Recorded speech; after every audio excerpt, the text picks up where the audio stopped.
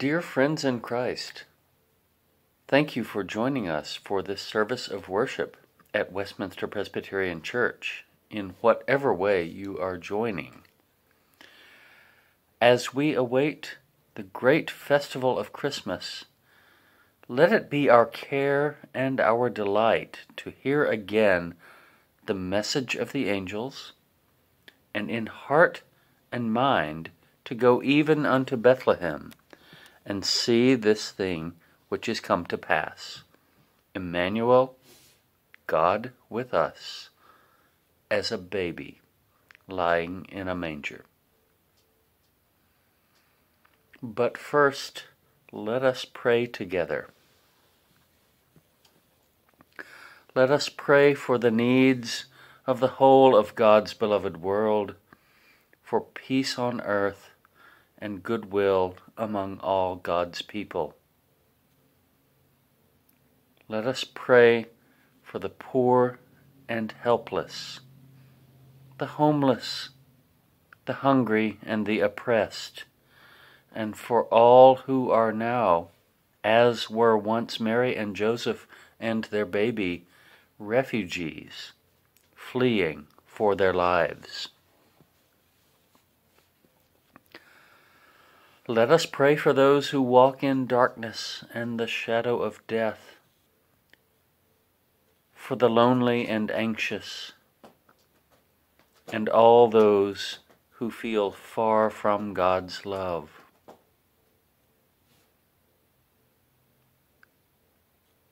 Lastly, let us remember before God all those who rejoice with us, but upon another shore and in a greater light. That great cloud of witnesses which no one can number, whose hope was in the Word made flesh, and with whom in Christ we are one forever. And now, we pray as Christ Himself taught us, saying, Our Father, who art in heaven, hallowed be thy name. Thy kingdom come, thy will be done on earth as it is in heaven. Give us this day our daily bread, and forgive us our debts as we forgive our debtors. And lead us not into temptation but deliver us from evil. For thine is the kingdom and the power and the glory forever and ever. Amen.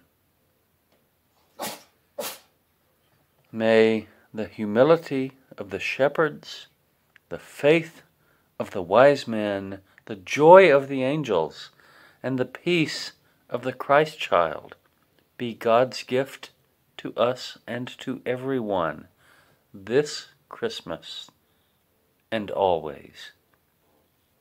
Amen.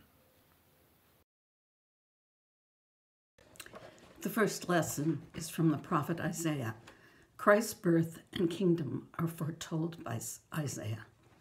The people who walked in darkness have seen a great light.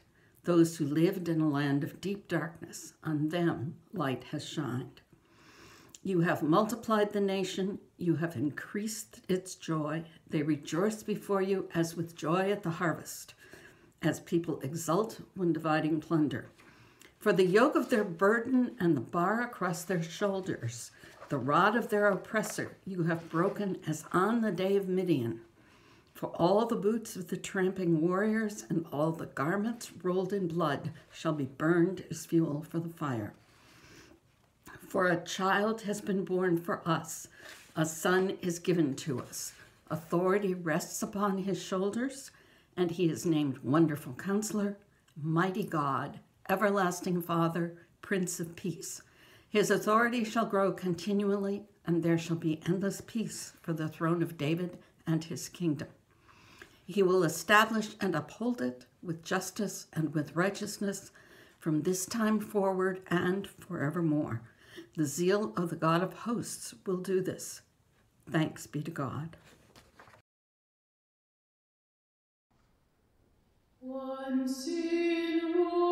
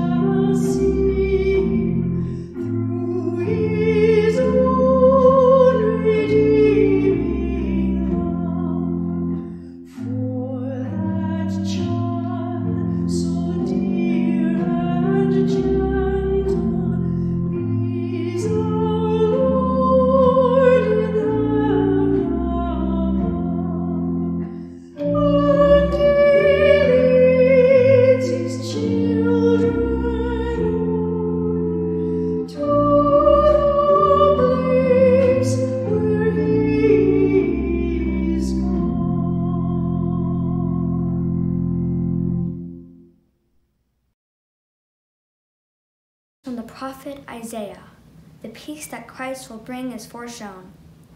A shoot shall come out from the stump of Jesse, and a branch shall grow out of his roots. The Spirit of the Lord shall rest on him the Spirit of wisdom and understanding, Spirit of counsel and might, Spirit of knowledge in the fear of the Lord. His delight shall be in the fear of the Lord. He shall not judge by what his eyes see, or decide by what his ears hear. But with righteousness he shall judge the poor, and decide with equity for the meek of the earth. The wolf shall live the lamb, and the leopard shall lie down with the kid. The calf and lion and the fatling together, and the little child shall lead them. The cow and the bear shall graze, their young shall lie down together, and the lion shall eat straw like the ox. The nursing child shall play over the hole of the asp, and the weaned child to put its hand on the adder's den. They will not hurt or destroy on all my holy mountain for the earth will be full of the knowledge of the Lord, as the waters cover the sea. Thanks be to God.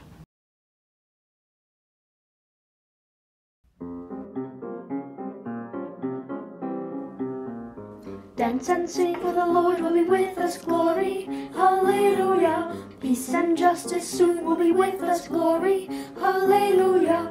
Clap your hands and sing, glory, hallelujah. Joyful voices ring, glory, hallelujah. Dance and sing, for the Lord will be with us, glory, hallelujah. Peace and justice soon will be with us, glory, hallelujah. Soon the sun will come through Jesse, his delight shall be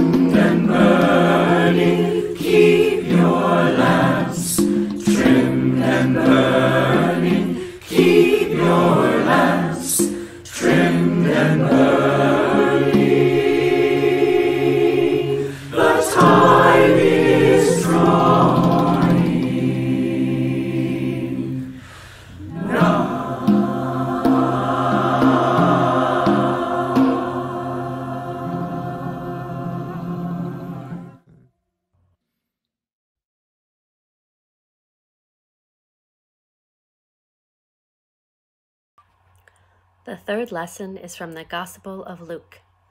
Mary visits with Elizabeth and offers a song of praise.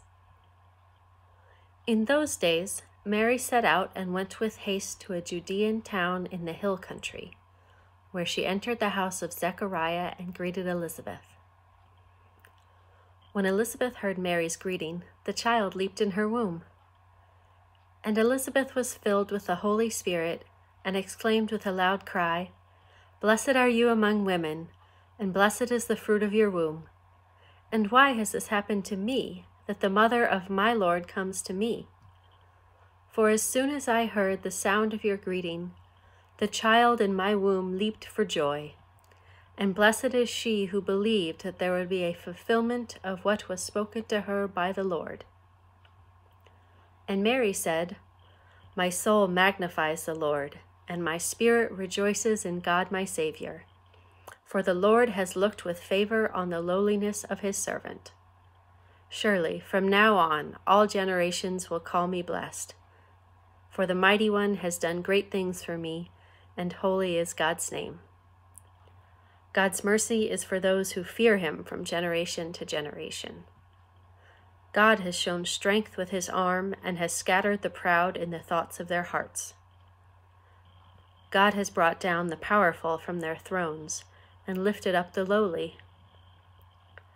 God has filled the hungry with good things and sent the rich away empty. God has helped his servant Israel in remembrance of his mercy, according to the promise he made to our ancestors, to Abraham and his descendants forever. Thanks be to God.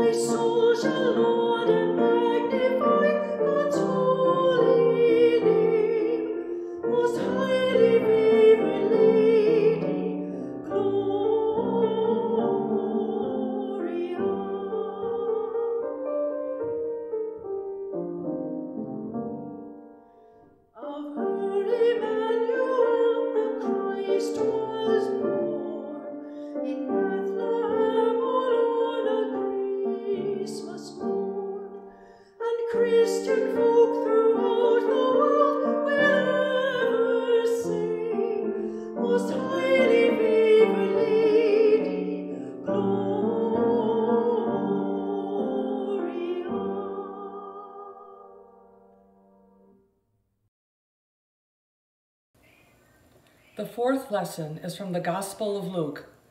The evangelist tells of the birth of Jesus. In those days, a decree went out from Emperor Augustus that all the world should be registered. This was the first registration and was taken while Quirinius was governor of Syria. All went to their own towns to be registered. Joseph also went from the town of Nazareth in Galilee to Judea, to the city of David called Bethlehem, because he was descended from the house and family of David. He went to be registered with Mary, to whom he was engaged and who was expecting a child. While they were there, the time came for her to deliver the child. And she gave birth to her firstborn son and wrapped him in bands of cloth and laid him in a manger because there was no place for them in the inn. In that region there were shepherds living in the fields, keeping watch over their flock by night. Then an angel of the Lord stood before them, and the glory of the Lord shone around them, and they were terrified. But the angel said to them, Do not be afraid, for see, I am bringing you good news of great joy for all the people. To you is born this day in the city of David a Savior, who is the Messiah, the Lord. This will be a sign for you. You will find a child wrapped in bands of cloth and lying in a manger.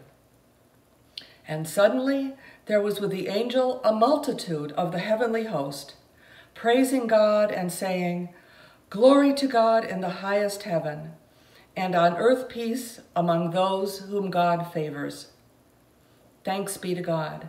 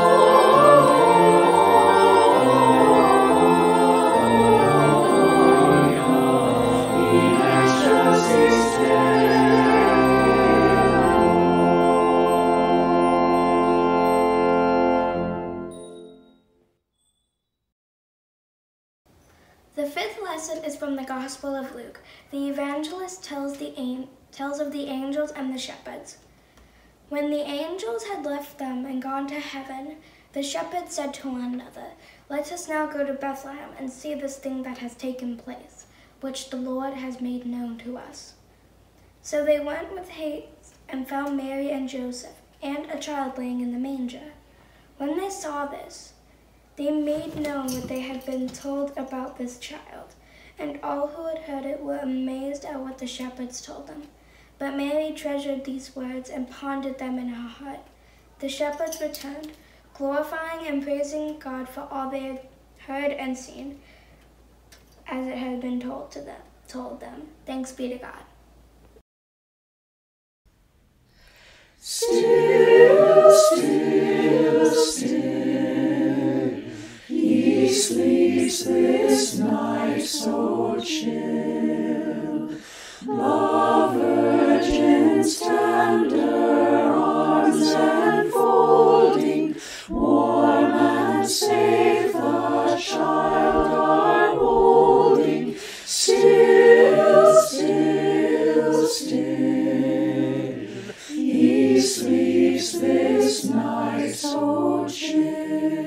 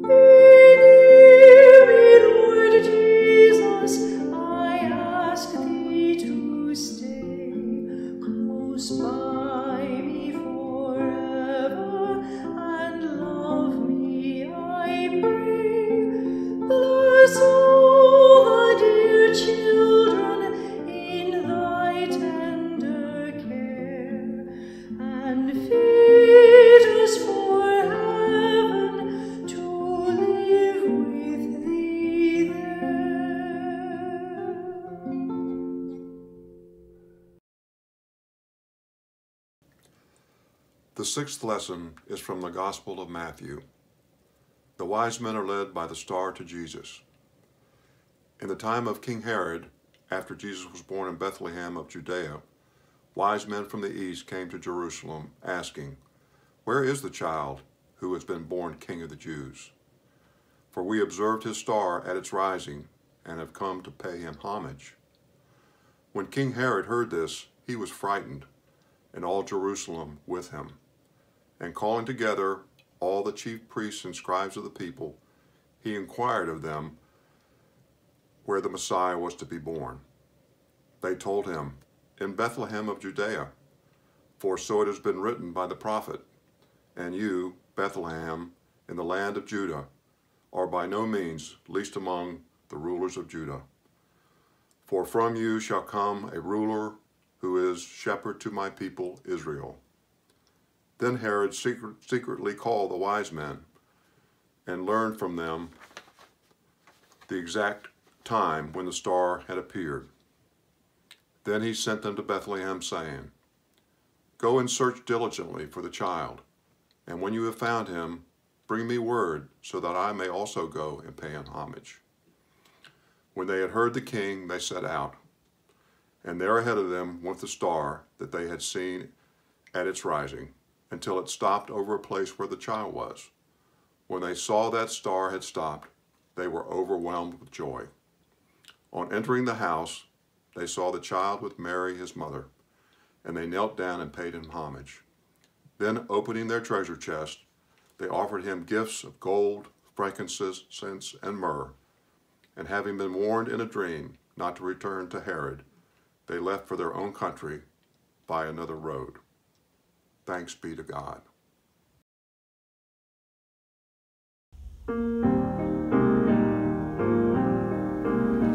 Rejoice and be merry in songs and in mirth. Oh, praise our Redeemer, all mortals on earth. For this is the birthday of Jesus our King, who brought us salvation. His praises we'll sing.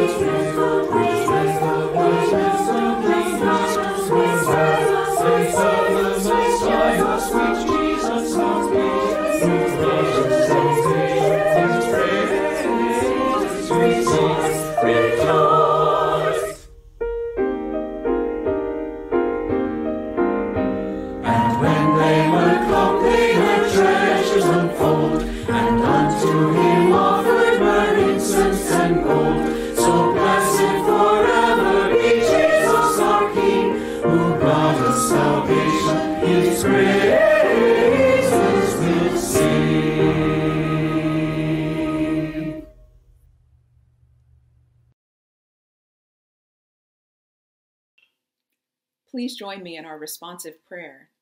I invite you after each petition to add your voices by saying, Light of the world, come to us. Let us pray. Light of the world, we need your love today to shine in the dark corners of this earth, where loneliness and hatred, war and suffering, greed and lust destroy. Light of the world, come to us.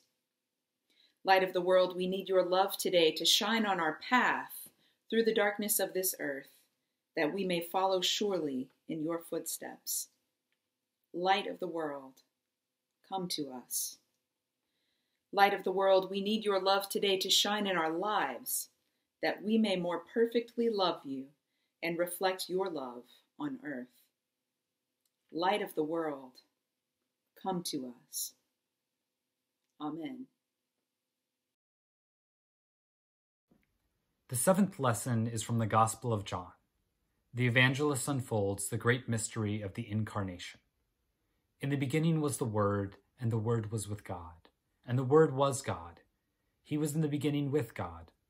All things came into being through him, and without him not one thing came into being.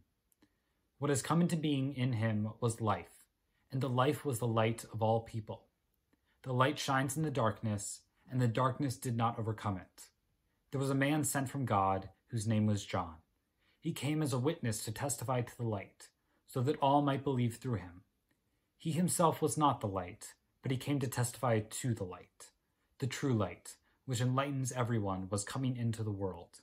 He was in the world, and the world came into being through him. Yet the world did not know him.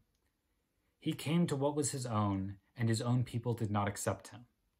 But to all who received him, who believed in his name, who gave power to become children of God, who was born not of blood, or of the will of the flesh, or of human will, but of God. And the Word became flesh and lived among us, and we have seen his glory, the glory as of a parent's only child, full of grace and truth. Thanks be to God.